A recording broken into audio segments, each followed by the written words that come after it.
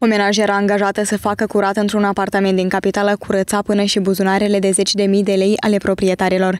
Este vorba despre o femeie de 50 de ani care a fost angajată de un bărbat de 34 de ani pentru a-i face curat în apartamentul său de pe strada Nicolae Costin din sectorul Buiucan al capitalei.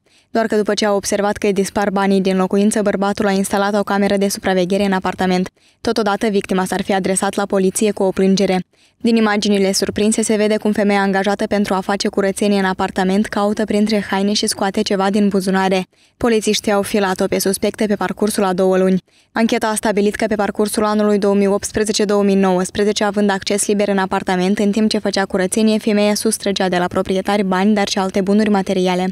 Astfel, proprietarilor fiindu-le cauzat un prejudiciu de peste 150.000 de lei. Suspecta a fost reținută în stradă în momentul când vorbea cu cineva la telefon. Uitați-vă cu așa, de ieri la mine, se bate procuror, judecător, da. Faptul să face certifici corporal, voastră de domniți în comiterea mai multe fur.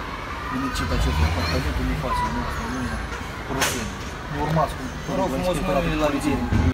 Aceasta a fost escortată la Inspectoratul de Poliție Buiucani, unde și-ar fi recunoscut vina. Totodată, în geanta acesteia au fost depistați banii sustrași și alte bunuri materiale. Femeia este cercetată pentru furt în proporții mari. Dacă va fi găsită vinovată, riscă până la 10 ani de pușcărie.